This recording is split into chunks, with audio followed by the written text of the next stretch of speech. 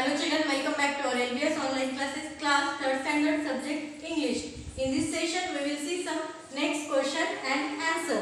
So which is useful for your second term exam. आपण आता पुढचे क्वेश्चन पाहणार आहोत. So let's start. Question use the action words given in the brackets and complete the sentences. काय question use the action words given in the brackets and complete the sentences. Here some action words are given and incomplete sentences are given. म्हणजे इथं काही अपूर्ण वाक्य दिलेत आणि त्यांच्यासमोर त्यांची ऍक्शन वर्ड्स कंसात दिलेले आहेत. ते काय करायचे? तेच ऍक्शन वर्ड ते कृतीदर्शक शब्द वापरून आपल्याला काय करायचं आहे? वाक्य पूर्ण करायचे आहेत फर्स्ट एक्झाम्पल पहा. ही डॅश डॅश कंसामध्ये दिलेले रीड तर मग पहा. जेव्हा तुम्हाला आता सर्वनाम किती आहेत? प्रोनाऊन हे बघा. Pronoun I we they you he she हे प्रोनाऊन आहे मग प्रोनाऊन मध्ये बघा ही शी इट या तीन प्रोनाऊन समोर आपण जरी तीन प्रोनाऊन आले तर त्यांच्यासमोर इज हे काय करायचं हेल्पिंग वर्ब वापरायचं आहे. बघा ही शी इट हे जर सर्वनाम आले असतील तर त्यांच्यासमोर इज हे हेल्पिंग वर्क किंवा इज हे सहाय्यकारी क्रियापद वापरायचे. आणि आय आलं असेल तर मग आयला कोणतं सहाय्यकारी क्रियापद वापरायचं? ॲम हे हेल्पिंग वर्क वापरायचं. बघा परत यू वी दे ही सर्वनामे किंवा हे प्रोनाउन असेल तर काय यूज करायचं? त्यांच्यासमोर हेल्पिंग वर्क आर यूज करायचं. परत एकदा पहा. जर प्रोनाउन ही शी इट ही प्रोनाउन असतील तर त्यांच्यासमोर इज हे सहाय्यकारी क्रियापद त्यालाच आपण हेल्पिंग वर्ब असं म्हणतो ते वापरायचं. त्यानंतर आय आय आलं असेल तर त्याच्यासमोर ॲन हे सहाय्यकारी क्रियापद वापरायचं. यू वी दे हे सर्वनाम असतील तर त्याच्यासमोर आर हे सहाय्यकारी क्रियापद वापरायचं. हे लक्षात ठेवायचं आहे. पहा मग. आता इथं ही आली म्हणजेच काय येणार? अगदी बरोबर. इज हे सहाय्यकारी क्रियापद येणार. म्हणजे आपण इथं ही इज आता आपल्याला इथं रीड दिले. तर याला आपल्याला आय एन जी लावायचे आणि काय होईल मग? ही इज रीडिंग तो पुस्तक वाचत आहे. आपल्याला क्रिया कशी दाखवायची आहे? चालू क्रिया दाखवायची म्हणजे ही इज रीडिंग या ॲक्शन वर्डला आपल्याला कोणतं काय लावावं लागेल? आय एन जी प्रत्यय लावावा लागेल.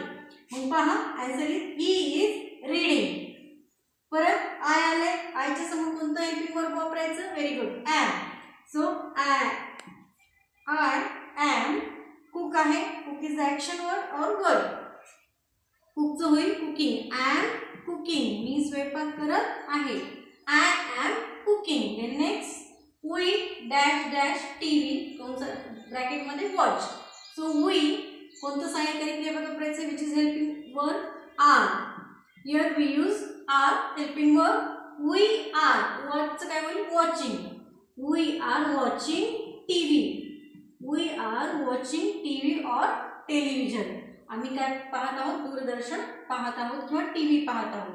Then next he dash dash his house the in bracket clean पहा मग ही म्हणजेच आपण पाहिले ही शी इट असेल तर इज ही हेल्पिंग वापरायचे. मग ही इज क्लीनचं काय होईल? अगदी बरोबर cleaning he is cleaning is तो त्याचे घर स्वच्छ करत आहे. दे डॅश डॅश नाव इन ब्रॅकेट स्लीप मग पहा वाक्य. दे हेल्पिंग वर्क काय असेल? आर दे आर स्लीपिंग नाव काय लावायचं? Sleep sleeping they next fifth number she dash dash on the table in bracket sit she is sitting on the table. Then next six number I dash dash in bracket read. I am reading. मी वाचत आहे. I am reading. Then next seven number she dash dash in the garden. She is playing in the garden.